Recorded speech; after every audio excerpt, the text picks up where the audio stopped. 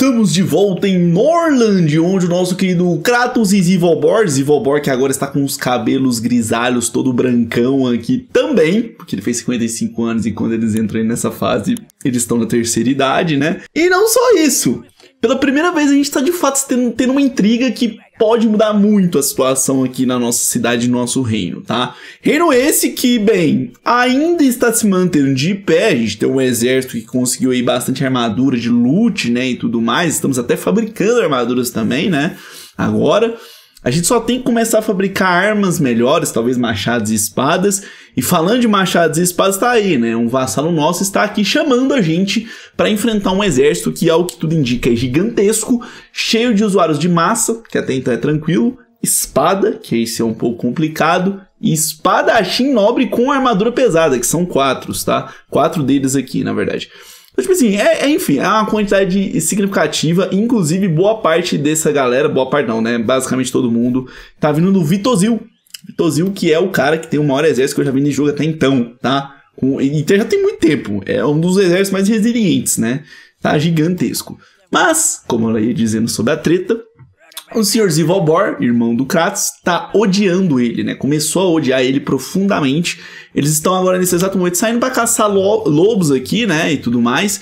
Eles, inclusive, já começaram aqui, ó, a, o ataque, né? Eles estão com armadura e tudo mais. Espero que ninguém morra nessa treta. Além disso, também eu espero que eles se desculpem, né? Eles até se desculparam aí no finalzinho do último episódio, mas não necessariamente o Zivolbor deixou aí de odiar o garoto, né? Ele ainda continua desejando a morte do Kratos. Mas o Kratos, pelo menos nesse exato momento, o que eu tô observando aqui, já não tá mais necessariamente tão zicado com ele, não, né? Eu já tô vendo aqui que os dois estão bem melhores, né? Inclusive, na verdade, ele já não tá mais aqui com a caveirinha em cima do Kratos, né? O que é ótimo, o que é ótimo, tá? Vou fazer o seguinte, tá? Vou aqui passar um tempo, né, com o Sr. Kratos também, eu tô fazendo os dois aqui ficarem bem juntos, né? Para tentar ir melhorando o máximo aqui. E deu certo. Pra ver, o desejo dele foi até realizado do Zivolbor. Ele não quer mais matar o Kratos. Ainda bem. Ainda bem, tá? Mas é o seguinte, voltando aqui ao pedido de ajuda do Vale Brilhante, eu tenho duas opções, tá? Com certeza eu vou ter que escolher qual que eu quero fazer, porque não vai dar para fazer as duas. Eu tenho a opção de ir lá no Vale Brilhante, ajudar os caras, né, é, a enfrentar o exército do Vitozil, que é o maior exército que tem no mapa inteiro até então que eu já, ouvi, que eu já vi, né? E, bem, não é garantia que eu vou ganhar, mas talvez desse ali para dar uma enfrentada legal ali com eles de frente, mas eu acho que o risco é muito grande. Se eu não ajudar, eles vão sair do meu reino, o que não é problema, porque depois a gente pode voltar lá e ter um vassalo mais ou um vassalo menos. Não sei se vocês já observaram, mas não faz tanta diferença no agregado, né? O importante é nós usar esses vassalos como fonte de influência e dinheiro, que eles pagam imposto, né? E, bem, é isso que eu vou fazendo. Inclusive, eu tô até focando muito em destruir campamentos de bandidos dentro desses territórios. Inclusive, eu acabei de achar um aqui, ó. acampamento de bandido aqui. Mas o, a minha outra opção seria ignorar aquilo ali e ir pra Verdiral, né? Um lugar onde eu, eu tentei. Eu, ele já tinha me chamado para ajudar ele militarmente, eu não ajudei, ele se se separou do reino e agora tá lá, né? Eu ameacei ele ali para ele virar vassalo, ele recusou e agora eu tenho que atacar, né? Então não tenho o que fazer, eu vou ter que realmente ir em cima desse cara aí, safado, pilantra, vagabundo, né? Mas primeiro eu vou esperar que o Kratos e o Volbora aqui conversarem, botar ali as suas experiências em dia e tudo mais, pra gente fazer qualquer coisa. E lógico, né? A gente está vivenciando aqui o que eu, eu, eu, De início eu pensei que seria uma crise econômica profunda, mas na verdade a gente está num boom econômico, porque, cara, a gente está produzindo bastante coisa muito bem. Inclusive, centeio, cara, a gente está num nível de produção assim que é assustadoramente grande, tá? E não só isso, eu digo mais, farinha, a gente tá no cap, a gente tá no limite. Eu vou até aumentar mais ainda o tanto de farinha que eu posso ter nos estoques, tá? Vou colocar aqui pra gente ter até 500 de farinha nos estoques. Porque parou a produção, tá? Dos moinhos. Porque, tipo, tá, tá lotado. Já, já fez tudo que poderia fazer, né? Bom que a galera traz aqui os centeios. Inclusive, tá aí um negócio interessante. Se eu conseguisse diminuir o preço da farinha, cara, seria muito bom, tá? Muito bom mesmo mas eu não consigo, infelizmente, tá? Tudo que eu tenho aqui já tá no preço mínimo que eu consigo deixar antes de começar a se especular, né? Porque se começar a especular, a gente sabe, a galera vai começar a desviar aí recurso e tudo mais.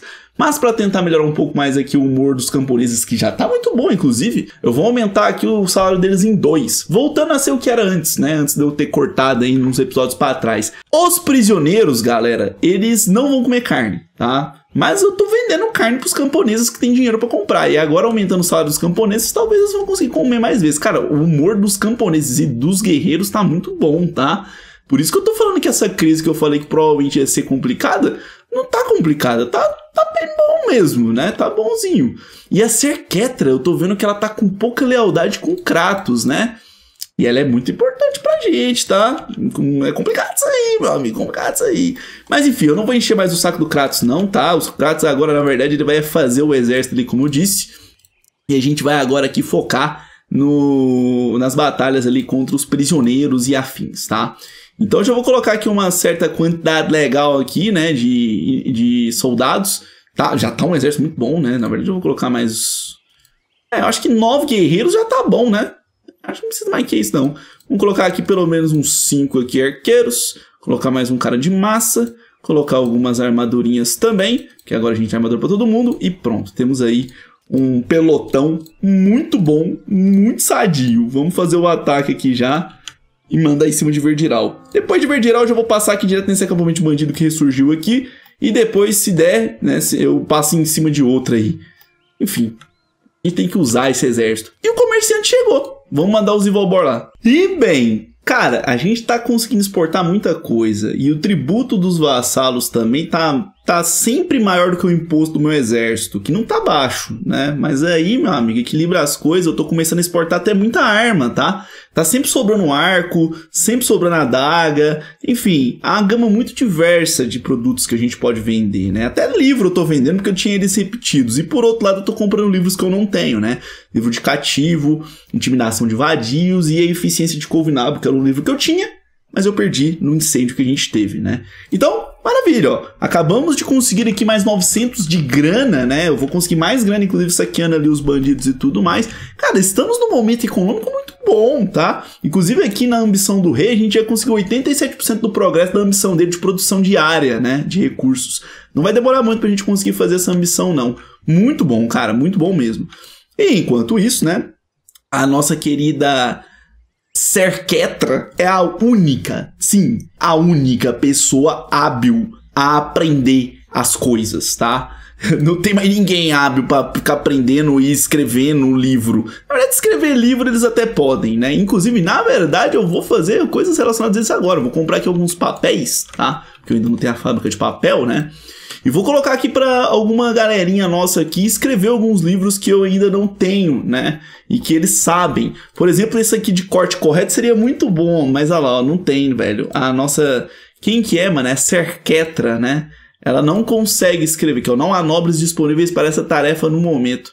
Por que será, velho? Porque o livro está escrito em Varne. Ela sabe o conhecimento, mas ela não consegue. Não, não, não entendi por que ela não consegue escrever, não. É assim que absurdo é esse.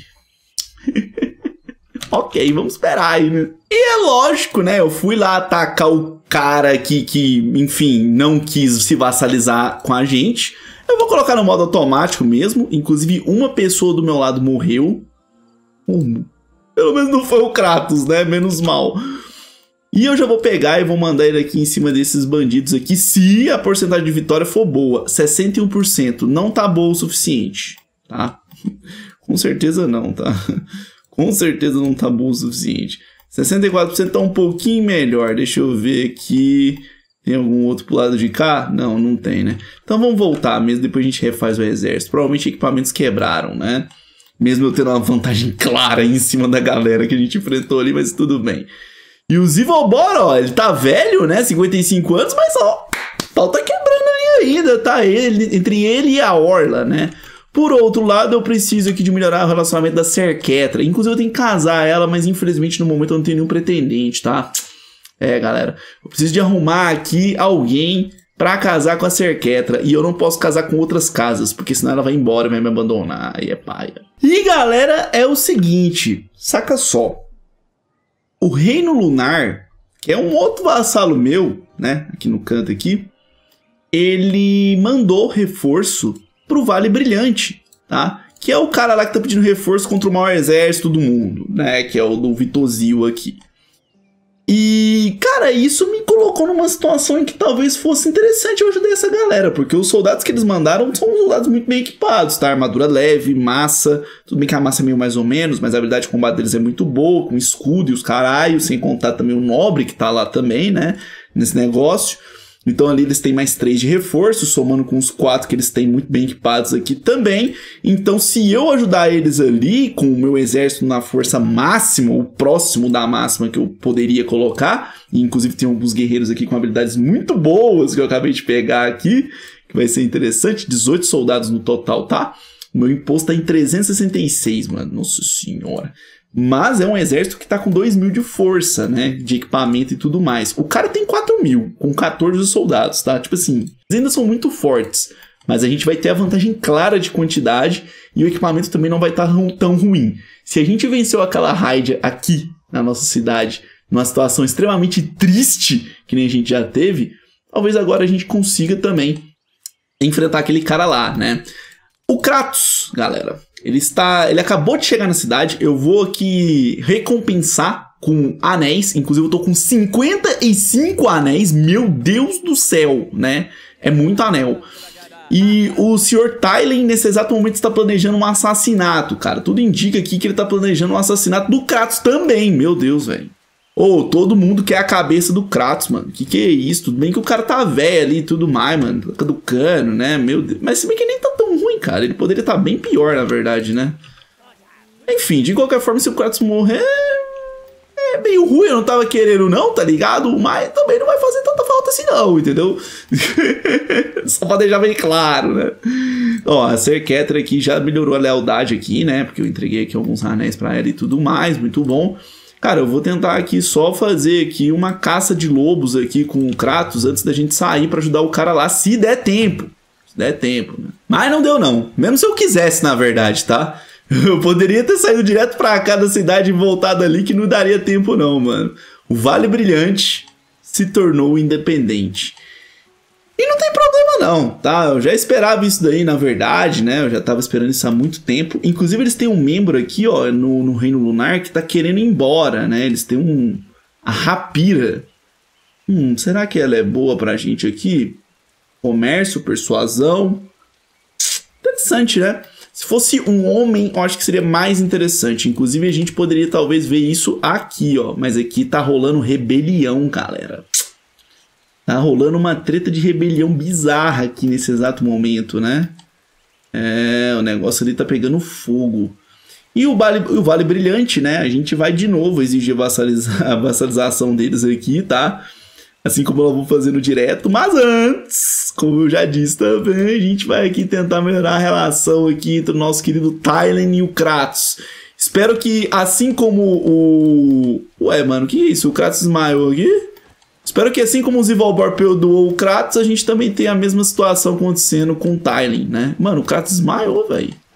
Bichinho ali, mano perto da morte. Devido às causas naturais, os dias do personagem estão chegando ao fim. Alguns dias a luz da sua vida se apagará. Ih,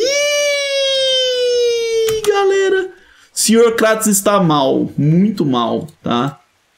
Nesse exato momento, Kratos está muito mal e ele está próximo a ir para um lugar melhor.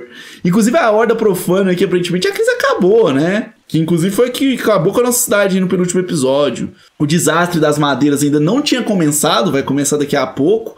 A produção nossa vai cair. É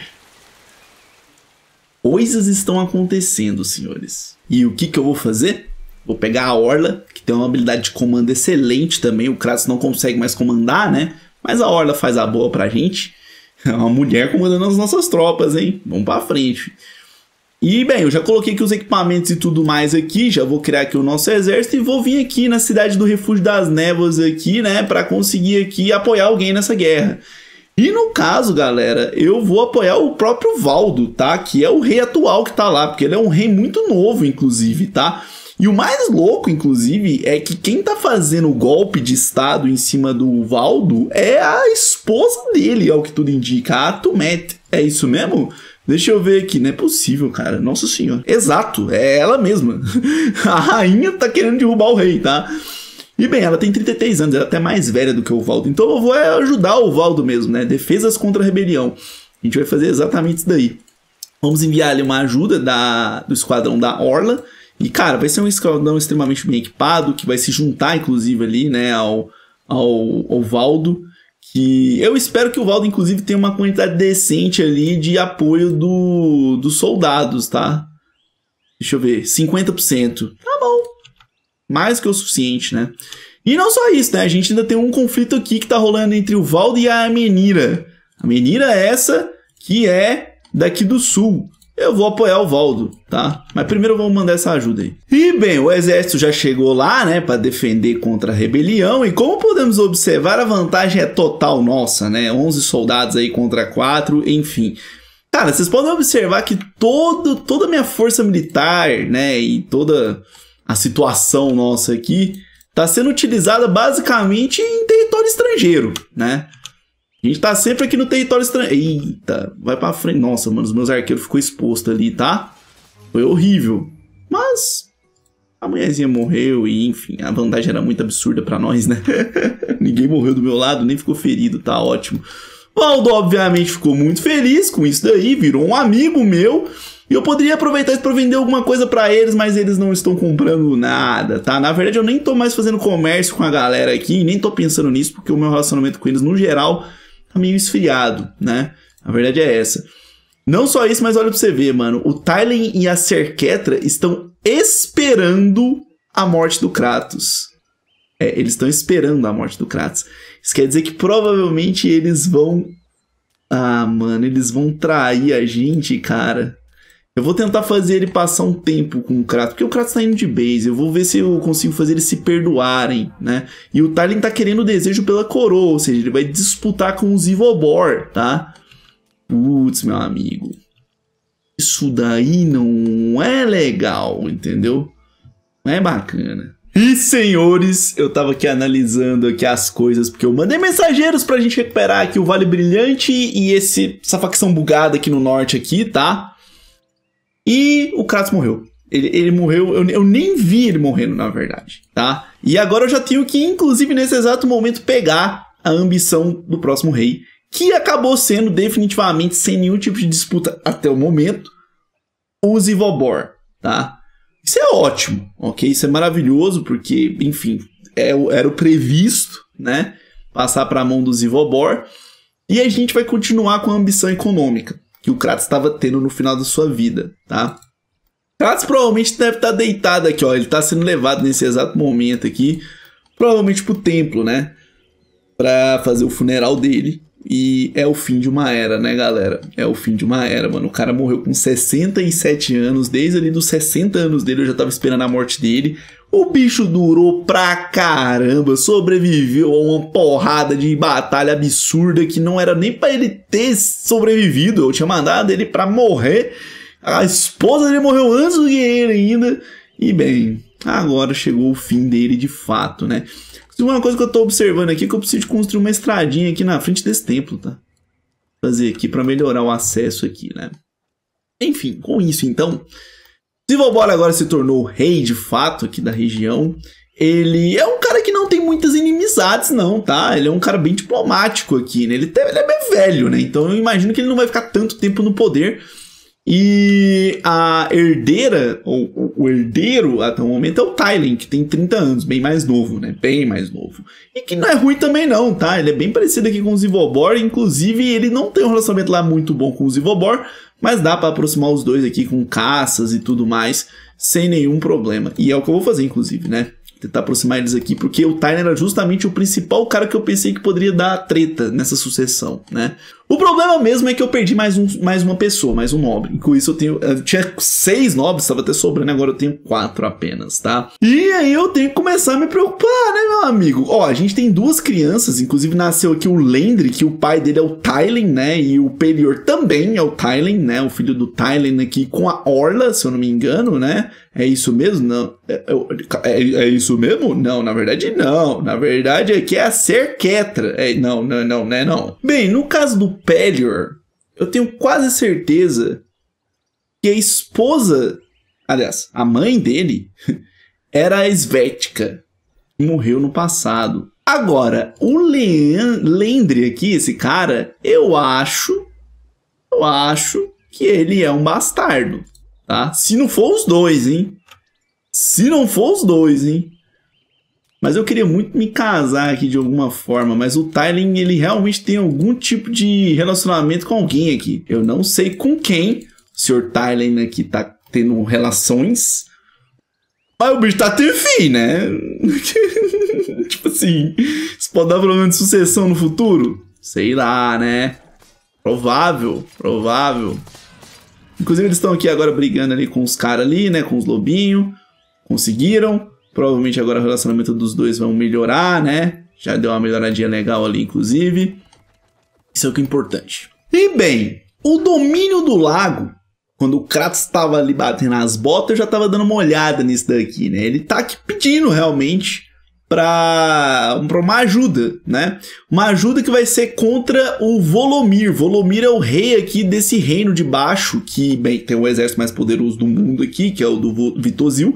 Exército esse que perdeu bastante força aqui pelo que eu tô observando, mas juntando os dois, né, com o do Volomir aqui, que é o rei da porra toda, ele tem mais 1417 kit de equipamento, 17 soldados.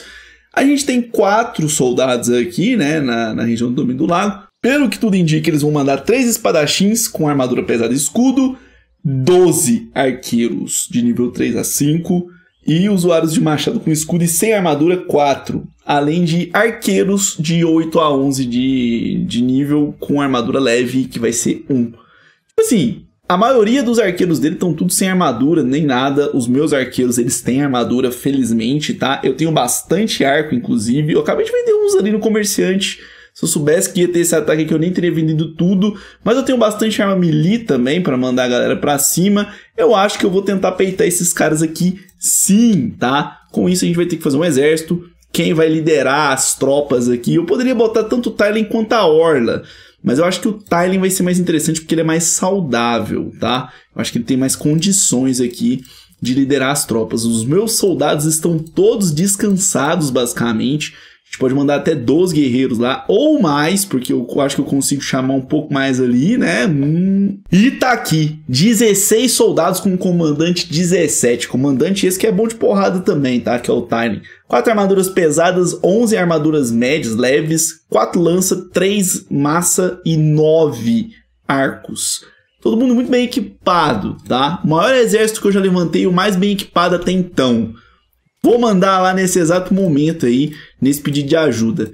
E digo mais, dependendo de como for essa ajuda e se de fato ele conseguir chegar lá a tempo e tudo mais, a gente consegue já pegar uma contraofensiva contra a galera aqui do sul, tá? Porque eles estão num momento que eles estão muito frágil, entendeu?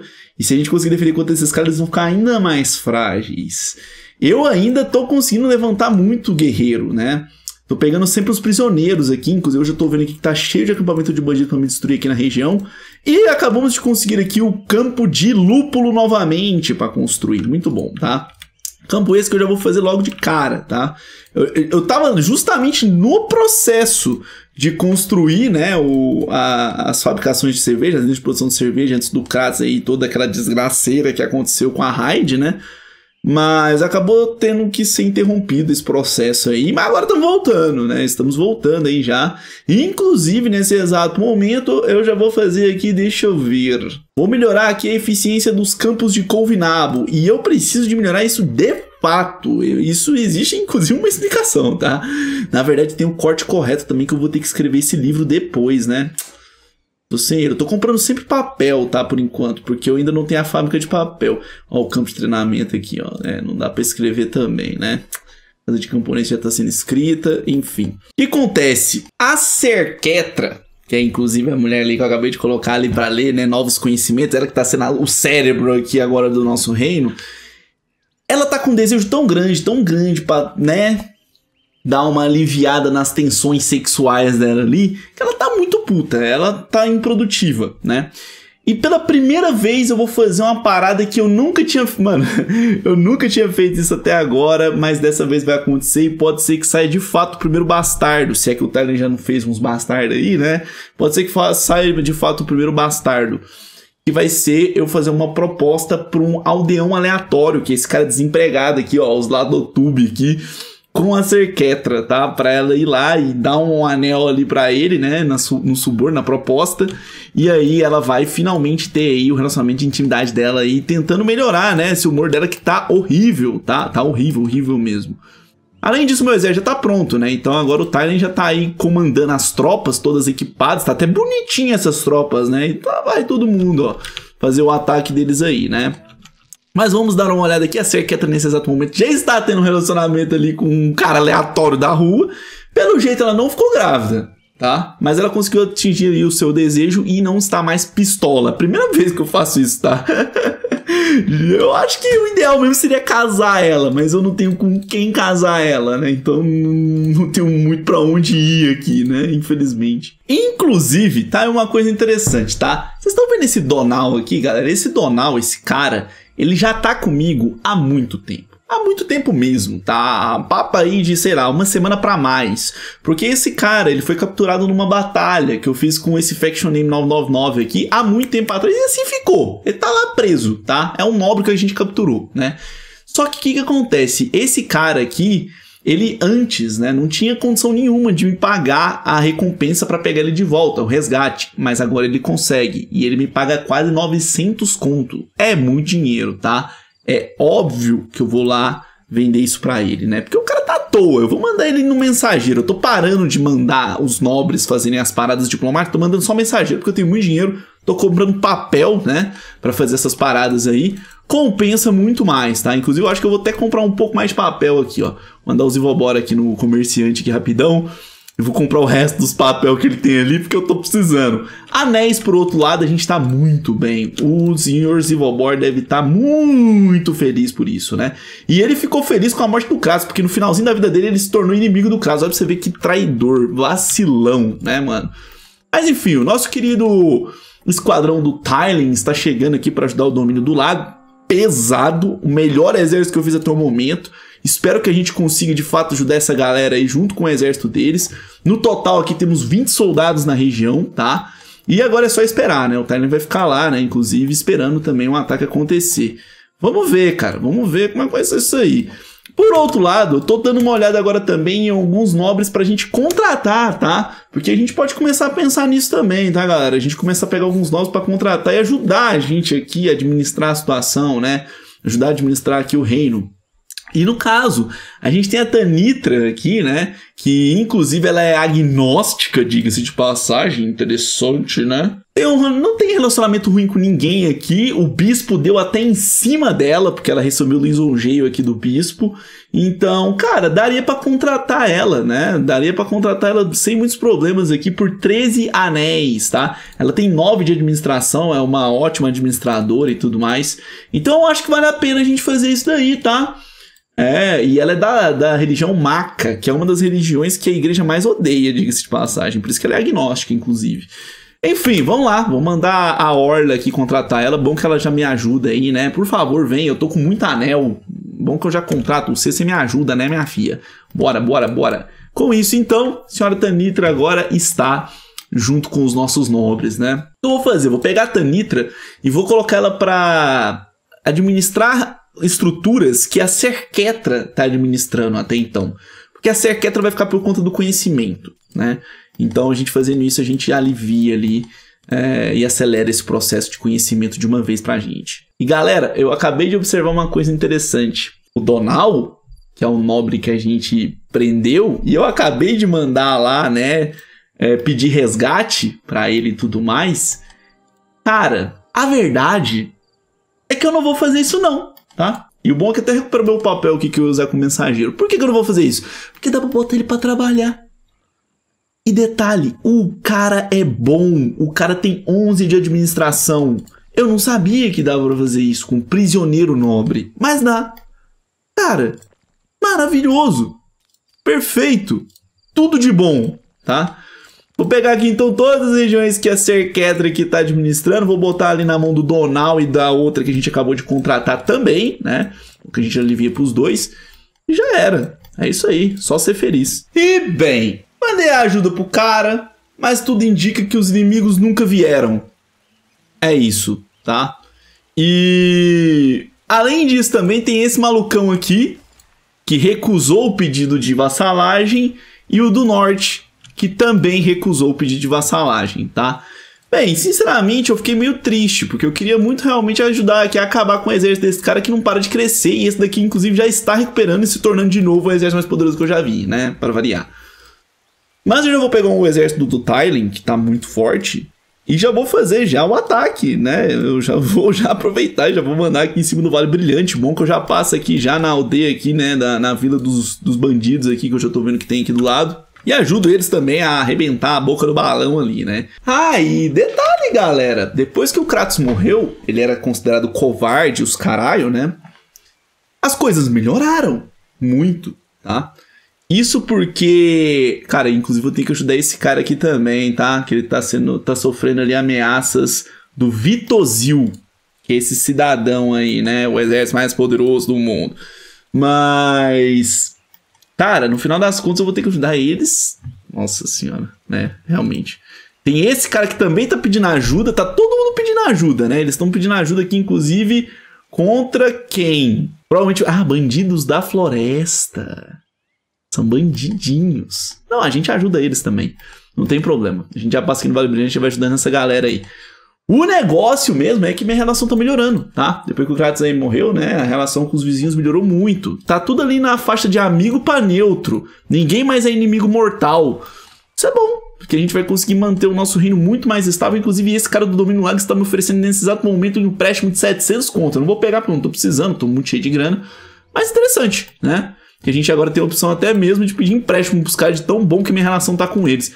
Legal, cara. E chegamos aqui na galerinha, obviamente, né? Eles aceitaram serem dominados por nós de novo, né? Porque eles não tinham a menor condição de, de, dar, de dar um jeito de enfrentar a gente. E eu já vou aproveitar que o Talent tá aqui e já vou tacar os bandidos aqui também, tá? Já vou botar eles aqui já. Já vou passar aqui, vou atacar esses daqui também que são fracos, tá? E a gente já consegue provavelmente ajudar esses caras, porque eles estão querendo ajuda contra os bandidos que a gente vai destruir, né? E aí a gente já foca nesse lado de cá, que tem um cara pedindo ajuda em Verdiral. E também tem aqui o Faction Name que eu tenho que atacar, né? Esse cara bugado aí. Senão eu vou virar covarde, mano. Tem isso daí, né? Eu não quero virar covarde de novo. não tô muito afim, não. Esse combate aqui, meu amigo, não tem nem o que falar, tá? Isso aqui é moedor de carne, tá? Os caras têm 1 trilhão e 400 mil ali. Aliás, eu tenho 1 milhão e 400 mil arqueiro. Os caras não conseguiram fazer nada, obviamente, né? Acabamos com eles. Nem arma quebrou, nem nada. A gente já vai vir aqui, ó. Já vai mandar em cima desse outro cara aqui. Vai lá, meu filho, vai lá. E chegamos no próximo acampamento e mais uma batalha, né? Vamos lá quebrar a boca do balão aqui com esses bandidos malditos. Já vou mandar ali pra cima deles. Vou ficar na retaguarda e tudo mais, né? Como sempre. Já vamos atacar. Mano, os caras não vão conseguir nem chegar perto de mim aqui. Nem, nem chegaram mesmo. Perfeito. Com isso a gente ajuda a galera aqui. Eles ainda assim estão pedindo ajuda, tá? Mas, cara, eu provavelmente vou ajudar eles, mas eu vou ajudar eles com um exército menor. Então eu vou fazer o seguinte, eu vou voltar, vou desmembrar esse exército de 17 soldados que eu tenho, porque não tem porque eu tenho um exército tão grande, né? A gente vai pegar um pedacinho dele e mandar pro Reino Lunar ajudar. O resto vai vir aqui em Verdiral, né? É, ajudar eles também. E a gente também tem que atacar o Faction Name ali em cima ali. Senão a gente vai ser covarde. Mas é isso. Se vocês gostaram, por favor, não esqueça de só like, se inscrever no canal, jogar pros seus amigos. Vem isso demais. E é nóis. Vamos dar a próxima. Tamo junto e fui.